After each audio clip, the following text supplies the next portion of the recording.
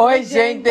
Bem-vindos a mais um vídeo aqui no canal. Se você não nos conhecia antes, meu nome é Alan. E eu era a sua. No vídeo hoje é um vídeo muito. Não sei se é muito legal ou não legal, porque vamos falar do Carlton Pedro e das coisas que ele ficou fazendo por aí, né? Ah. Que chocou os brasileiros. Demais. Então nós vamos analisar as falas dele nesse vídeo. Se você já gostou da ideia desse vídeo, já vos convidamos aqui no canal A se inscreverem, deixar o like e ativarem o sininho das notificações para não perderem nada do canal. E nos ajuda a chegar à meta dos 200k. Por favor, família. Gente, eu entrei na internet. Quando eu entro no canal do YouTube, eu fico assim, é uma lista de vídeos de moçambicanos falando de Carlton Pedro. Eu fiquei tipo, gente, Carlton Deus. Pedro? Gente, eu conheço o Carlton Pedro como uma pessoa muito certinha, sabe? Uma Então, pessoa de muito bom caráter. isso, então, quando eu chego na internet, eu vejo aquela toda a repercussão que o vídeo dele teve. Meu Os Deus. brasileiros, eu entrava nos comentários brasileiros revoltados, eu, meu Deus, o bicho pegou. Pegou. E o pegou forte mesmo.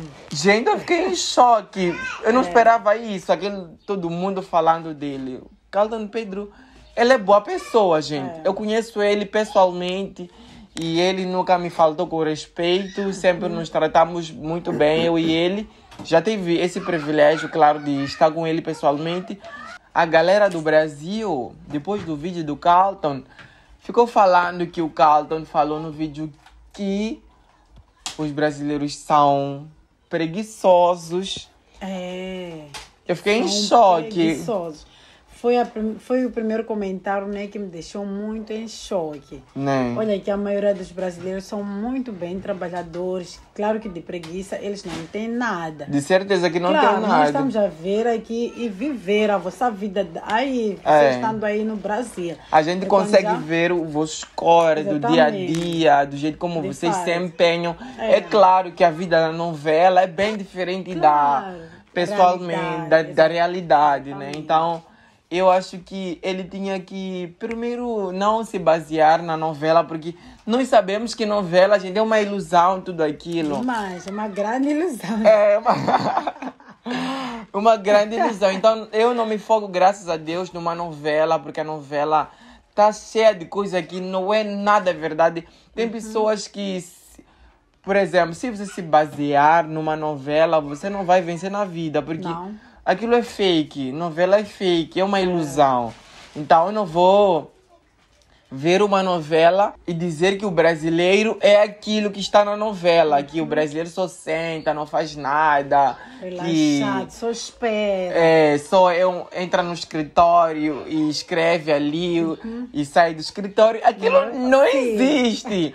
Tem, Mas sempre, também tendo, ah, tem pessoas né, que relaxam, sentam, ficam à espera. Tendo alguém para trabalhar. Trabalhar. E aquele trabalhador é um brasileiro que não é preguiçoso. Claro que Está não, né? seu pão. Assim como aquele que está relaxado, sabe que uma hora exata, uma hora X, eu vou poder ir trabalhar, vou poder fazer alguma coisa para poder pagar aquela pessoa aqui. está trabalhando. Exatamente. Que claro, sim, que tem brasileiros privilegiados, né? É. Os que têm tudo ali, que têm uma vida luxuosa. Mas nem todo mundo é assim. Nem todo Porque aqui em mundo. Moçambique também tem pessoas ricas, tem pessoas que não são ricas. Ricas, pessoas que acordam cedo, vão trabalhar, vão buscar a busca do pão, porque Pão. gente, nós estamos a ver o país brasileiro como ele é.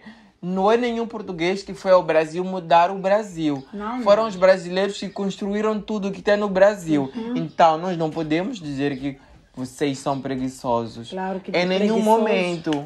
Posso dizer assim que nós mulheres africanas nos inspiramos muito em vocês mulheres brasileiras. Por exemplo, eu sou uma mulher, me inspiro nas mulheres brasileiras. Elas em termos de, de- da gastronomia, sou super fã. Olha. O empreendedorismo, que ela tem. o negócio, tudo, todo brasileiro, né? São bastante trabalhadores de preguiça, vocês não têm nada. Assim como as mulheres brasileiras podem se Inspirar nas nas mulheres moçambicanas. moçambicanas. Porque, é claro, gente, uma pessoa preguiçosa, a gente Uhum. consegue ver que isto aqui é preguiçoso. É. Sabe? Isso aqui é preguiçoso. Então, nós sabemos muito bem o preguiçoso e não o que não é preguiçoso. Preguiçoso. É ofensivo. Demais, muito ofensivo. É, é ofensivo. A segunda coisa que ele falou, eu fiquei tipo em choque. Chocada também. ó. É, eu fiquei em choque. Então, a segunda coisa que ele falou, ele falou que, Que os brasileiros comem feijão sempre. sempre, todos os dias. Meu Deus. Será que é verdade que os brasileiros comem feijoada todos os dias? Então, eu fui ver um vídeo do moçambicano ontem, que está no Brasil há mais de seis anos.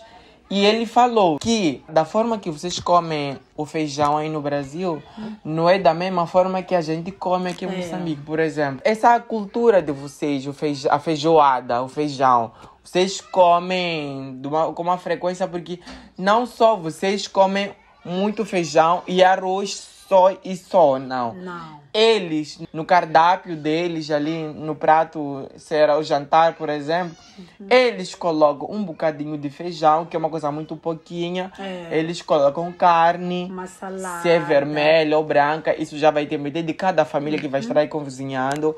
Uma salada, arroz, uma sobremesa tipo laranja. É. Não que exatamente é só, só feijão. feijão. Imagina, gente, ninguém aguentaria. Até mesmo os tropas não aguentam.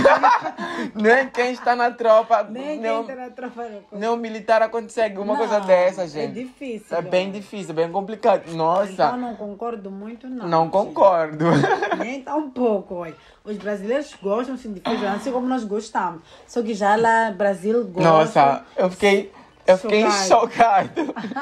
Eles comem com feijoada, dá muito apetite com feijoada, Aham. com um ovo lá de uma Um ovo, saladinha. isso, um ovo. Sim, sobremesa, sempre tudo bem recheado. Eu gosto da vossa gas- Também gastronomia, gosto. E gente. também a feijoada deles não é qualquer feijoada. Não é qualquer feijoada, uma feijoada muito bem caprichada. Costuma chamar de feijoada completa, olha. É, feijoada completa. E é claro que não é bem assim como ele É. falou lá no, no vídeo dele. Não. Eu não conheço o Brasil. Então, eu não tenho o direito de dizer que aquilo que eu venho que eu vejo é exatamente aquilo que eu estou a ver em um vídeo. Eu tenho que estar no Brasil, eu Para viver no Brasil, para eu saber realmente a vossa Sim, vida. É verdade. claro que mesmo estar aí no Brasil, eu não vou saber realmente a vida do brasileiro, porque eu não É. vou estar em família, em família, em família para saber a vida dos outros. Mas também temos muitos irmãos que estão lá em Brasília. Eles falam muito bem, estão sempre Sim. a reagir. Com... É sobre isso, Por, né? por exemplo, o professor Horácio, o Joselino que Ele esteve no Brasil. mostra o Brasil todo, como é que vocês vivem aí. É. Por isso que nós discordamos com, com, Com isso, gente. né? Isso é, é um absurdo. É. Eu acho que ele foi longe demais. Longe demais. Bom, eu, eu, eu, até sei que ele talvez não queria ofender-vos, porque ele é uma boa pessoa. Ele não teria essa coragem de cuspir no prato que ele comeu, jamais. Porque o público dele é brasileiro, então. Se ele fizesse isso, ele estaria a perder o foco. Eu lhe conheço, eu não convivo com ele, mas eu já vi ele, já tive essa oportunidade de, Já de conversar e trocamos uma conversa ali e não vi maldade nele. Não vi maldade e, sinceramente, eu acho que ele foi, assim, espontâneo demais ao fazer o vídeo, que se descontrolou aí. As pessoas acabaram contrariando a fala É. dele, sabe? E não é exatamente aquilo que ele queria falar Por ali. isso que houve desavenças. É, porque, meu Deus, a repercussão na internet, eu cheguei, eu, fiquei Meu em choque. Eu disse, meu Deus. Mas acredito que talvez ele fez numa brincadeira, porque o vídeo nem durou muito tempo. Não, Ou nem na brincadeira. Ele foi um espontâneo demais, Demais, entendeu? é. É, porque geralmente, quando nós fazemos vídeo hoje em dia, a gente não faz um roteio. Eu não gosto, por exemplo, de fazer roteio. Eu gosto de ser espontâneo, mas também ao mesmo tempo ser educado e É. controlar a minha fala para não prejudicar ninguém com a minha fala. Exatamente. O É. que é bom e importante. É sobre isso. E, gente, nós reagimos ao vídeo de vocês. É claro que nós temos noção das dificuldades que vocês passam aí. Porque é claro que sim. não é um mar, mar de rosa, Mar de gente. Não existe. Nem aqui em. Moçambique não é mar de rosa, nem, nem Dubai é mar de rosas. Nem tanto em outros países. Não, é há mar de rosas, rosas. gente. Não há mar de É. rosas. Os ônibus. Os ônibus enchem, sim, de pessoas, Claramente. tanto aqui, tanto em outros lugares, porque as pessoas têm seus cores. Exatamente. Seis da manhã, as pessoas já estão num, na parada para pegar o ônibus e ir para o trabalho. E é claro que no Brasil, quanta população tem no Brasil? É mais de 237 milhões de habitantes no Brasil. É claro que mesmo tendo muitos ônibus, não vai sempre caber para só sentar e não ter pessoas paradas. Não tem como. Sempre vai ter que ter pessoas sentadas e umas paradas, por mais que encha. Quando você entra, chega no teu trabalho, o teu chefe não vai querer saber se você atrasou por causa do ônibus que estava cheio ou não. Não vai querer saber. Ele só vai querer que você chega na hora exata. Uhum. Os chefes são assim, gente. Assim. Quem trabalha sabe. Eu sou trabalhador também, graças a Deus. Não diria que eu sou preguiçoso, eu também sei que vocês não são preguiçosos. Eu sei muito bem a hora de chegada no trabalho e o quanto nos, os nossos chefes são rigorosos por isso. Ah, Você é capaz de dar, de dar um fora só por uns dois minutos. É. Então, é claro que uh, é algo normal um ônibus estar cheio demais, é algo claro. comum, que não é novidade para ninguém. Não é novidade mesmo para ninguém, é. né? Não é novidade para ninguém, claramente. É isso temos noção disso. Então, é, não precisa... Nem todo mundo tem carro. Então, a solução é o que? É o ônibus. É o porque ônibus. às vezes pode ser mais barato, estás a ver? Com certeza. É econômico. Mesmo para quem tem carro, às vezes prefere não, não usar. carro, talvez por causa de combustível. É combustível. Então, a pessoa prefere fazer o que? Pegar o ônibus, que é mais barato, vai chegar bem. E é isso, gente. Nós temos noção também uhum. sobre esse tipo de coisa. Eu sei da vossa capacidade de trabalhar e serem trabalhadores. Uhum. Então, parabéns para vocês. Eu admiro Muitos vocês. Parabéns. Falo e repito que vocês são maravilhosos. Eu também vi no youtuber que eu acho que ele tocou na parte das mulheres na praia, como se vestem, vestem de biquíni. Uhum. Gente, isso eu, eu acho, no meu ponto de vista, é, é questão de costume, é. de cultura. Até aqui em Moçambique tem pessoas que vão para a praia de biquíni. Claramente. É, é claro que tem tabu. Eu, eu, eu até creio que até aí no Brasil tem pessoas que é, tem esse tipo de preconceitos de biquíni. Tem. Isso é, é, algo. Mas é pouca gente. É pouca gente. É. Isso vai depender de cada pessoa e de como a pessoa foi educada em casa dela. Eu acho que é assim. Se eu fui educada na minha casa que eu não devo me vestir assim para a rua, eu não vou vestir assim. desse jeito. Exatamente. Isso é cada um, cada um tem seus costumes, mas não que isso seja ruim. Não, não. Só que quando você é colocada na tua mente que isso aqui é errado, você vai achar isso errado para o resto da tua vida. É verdade. Isso vai te atormentando, te atormentando, te atormentando até o resto da sua vida. E é claro, eu amo vocês. Eu discordo das falas dele, tá bom? Eu acredito também que ele não queria dizer aquilo que ele disse. As pessoas lhe interpretaram mal. Muito tal. Mal. Uhum.